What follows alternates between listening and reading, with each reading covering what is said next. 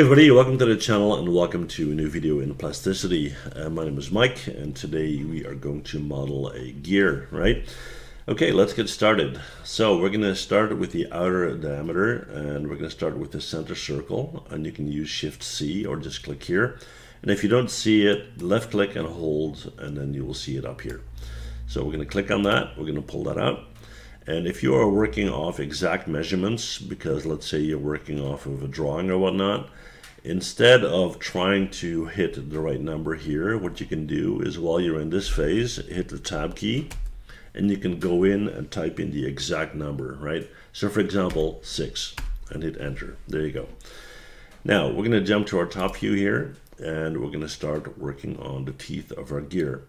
So I'm going to grab a center rectangle. I'm going to click and pull that out until I'm happy with the overall position and size. And here again, you can go in and click and uh, alter the exact measurements if you like, right? I'm going to click on that. I'm going to go and hit one on the keyboard or click up here. We're going to grab these two. We're going to hit B for chamfer, bevel, fillet, whatever you want to call it. We're going to do this then we're going to click on OK. I'm going to go back in here, grab these, hit S for scale, push them in like so, and we're ready to go. Okay, cool. Now, I want these to be replicated around the model, of course. So we're going to select this. We're going to go down here to the radial array tool, click on it, move to our center point, and right now it's set to 21 and um, maybe I can do 22 we'll see what that will look like. And I think that's good right? So we're gonna click on that. There we go.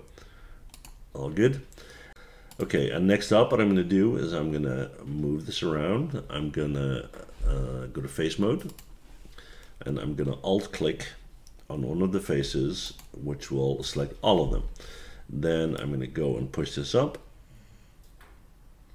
until we got something looking like this. And again, you can uh, alter the height if you want. You can go to 0.4, hit enter, and there you have it. Click on OK. We don't need to see all of these faces anymore. So I'm going to click here once. I'm going to control shift click on the bottom one. And then I'm going to go and click on hide. So they're all hidden. All right, that looks good so far. Next up, we're gonna uh, go and grab a cylinder and we're gonna snap that to the center right here, right there. We're gonna pull that out. And again, you can go and enter the exact measurement if you want. Let's do 1.5, right? And then I can pull that up or pull that down. I'm gonna pull that down to create a hole and click and click on OK. So there's our hole. And we're going to do something similar with a cube. So we're going to grab this cube. Let me jump to the top view. And let's create that cube. And I want it to be a center cube. So let's hit C. There you go. Make that nice and small. Click right there. And then we're going to go and push that down and click on OK. So now we have that.